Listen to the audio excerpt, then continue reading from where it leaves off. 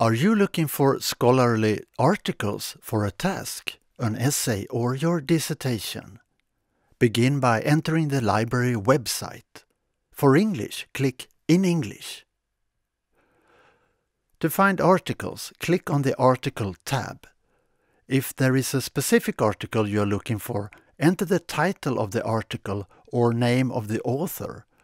If that's not the case, you first need to choose search terms that uh, corresponds to the topic you are interested in.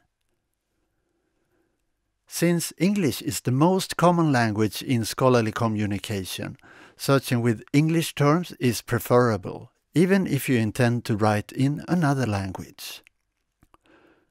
Let's say you want articles on shamanism.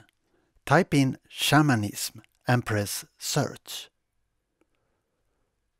Here you can see that we also have ebooks, but since we are looking for peer-reviewed articles, we tick peer-reviewed in the left column.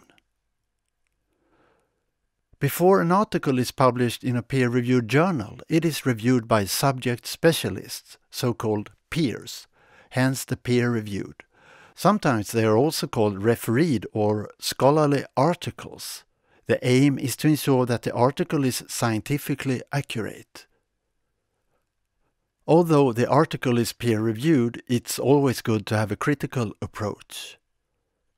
This gives us more than 7,000 items.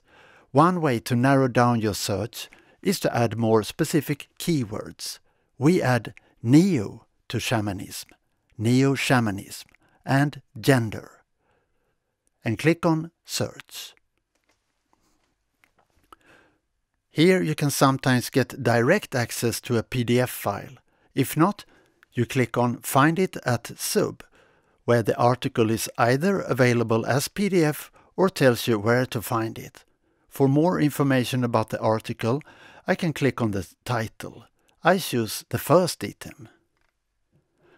To the right there is a menu of useful features. I can click on Cite for help on how to refer to the article. Here you can find the most common reference styles and can copy them to your own list of references. If you have trouble finding items or have another question, you can contact us or visit the library.